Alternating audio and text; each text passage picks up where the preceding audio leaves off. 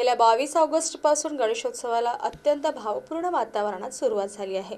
कोरोनामुळे यंदा गणेशोत्सव अत्यंत साधेपणाने साजरा होणार असला तरी प्रत्येकाच्या घरी या सणाचा तोच उत्साह पाहायला मिळत आहे. बाप्पाचे आगमन झाल्यावर तीन दिवसांनी म्हणजेच मंगळवारी गौरीचे घरोघरी आगमन झाले.